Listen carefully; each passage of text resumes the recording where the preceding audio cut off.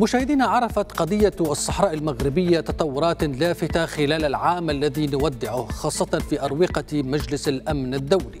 المزيد حول هذا الموضوع ننضم إلينا مباشرة من الرباط الدكتور عبد الفتاح بالعمشي رئيس المركز المغربي للدبلوماسية الموازية وحوار الحضارات. مساء الخير سيد بالعمشي.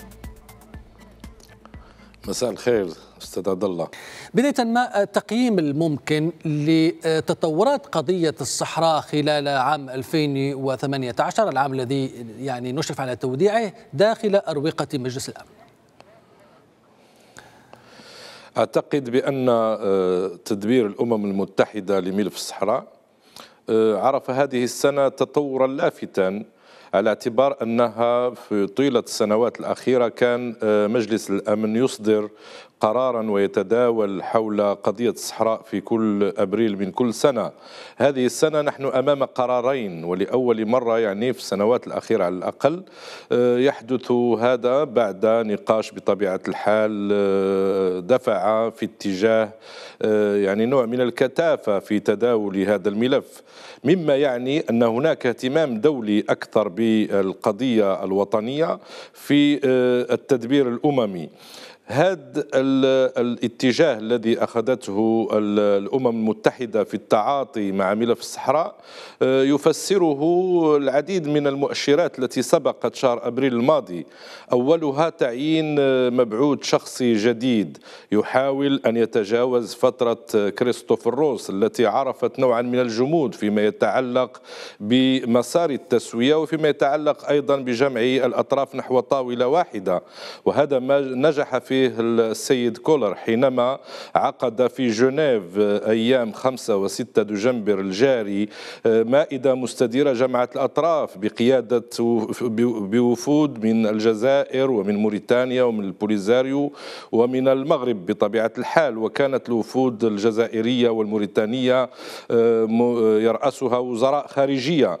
آه، على الأقل لم نلاحظ بعد هذه المحادثات على أن هناك آه، يعني إفشال لمهمة المبعوث الشخصي مما يدل على أن هذا التصور الجديد الذي باتت الأمم المتحدة تتعامل من خلاله مع أطراف النزاع ربما سيؤدي في الربع الأول كما بشر بذلك في محادثات جديدة إلى بداية المفاوضات أو إلى على الأقل وضع جدول أعمال للتوافق فيما يتعلق بهذه القضية.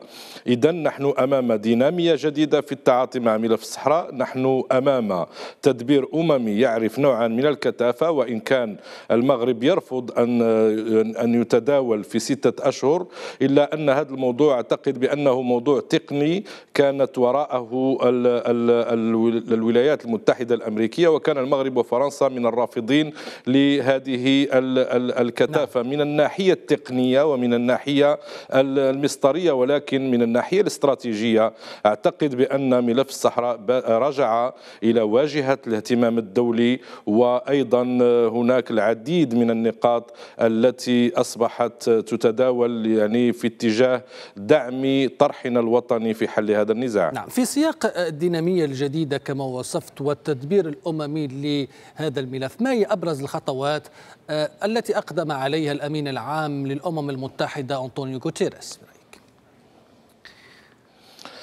أول بمجرد ما تمت استقالة كريستوفر روس وتعيين المبعوث الشخصي الجديد اهتمت الأمانة العامة بنوع من التواصل ليس فقط على مستوى المغرب والجزائر وموريتانيا ولكن أيضا في العواصم الدولية بمعنى أن السيد كولر هو كمبعوث للسيد الأمين العام هو يحاول أن يؤسس لأسلوب جديد في التعاطي مع ملف الصحراء.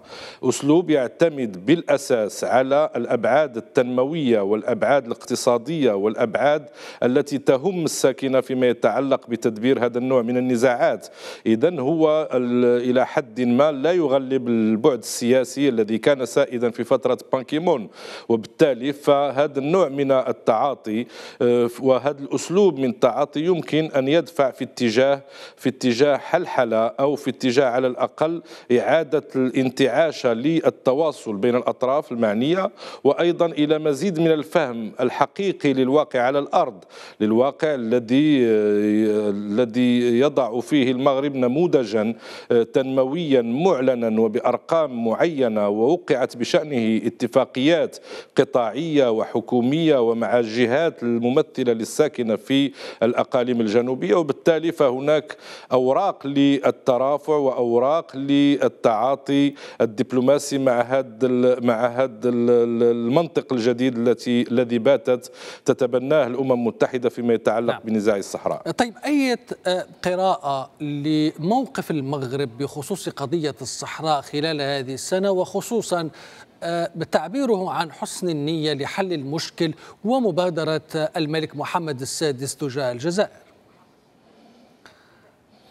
المغرب كان واضحا بالخصوص الدبلوماسية المغربية كانت واضحة في السنوات الأخيرة وتحديدا هذه السنة حينما حدد جلالة الملك السقوف التي يمكن أن يتعاطى معها التدبير الأممي بحيث لا يمكن لأي آه، أرضية للتفاوض خارج السيادة المغربية وخارج مبادرة الحكم الذاتي ولا أي تغيير للسياق الذي يعرف تدبير هذا الملف حصريا في الأمم المتحدة بمعنى بمعنى أنه لا يمكن للمغرب أن يسمح بالتداول هذا الملف على مستوى منظمات حكومية أخرى أو على مستوى حتى الهيئات التابعة للأمم المتحدة. نذكر هنا موقف الممثل الدائم للمغرب في الأمم المتحدة من اللجنة الرابعة والذي دعا إلى رفع يدها عن هذا عن هذا الملف.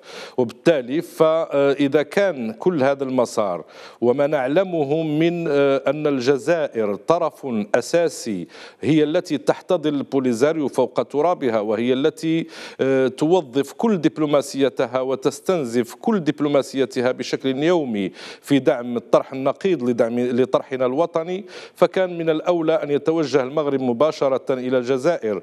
من هنا جاءت مبادرة جلالة الملك في خطاب المسيرة حينما دعا إلى إحداث آلية للتشاور والحوار مع الأشقاء في الجزائر لأن هذا هو الطريق الأقرب والسهل لحل لحل اولا المشاكل الثنائية فيما يتعلق بالعلاقات غير الطبيعية وأكيد أنه سينسحب إلى التداول والتشاور حول القضايا الأخرى المرتبطة بالإشكالات التي يعانيها البلدين بشكل مشترك وأيضا القضايا السياسية وعلى رأسها قضية الوحدة الترابية.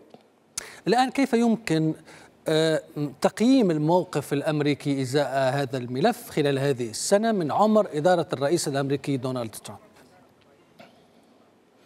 كثر الحديث عن الموقف الأمريكي وعلى أن جون بولتون هو مناصر لجبهة البوليزاريو وعلى أن زيارة السفير الأمريكي للمخيمات كلها ستؤثر على المسار الذي يسير فيه المغرب.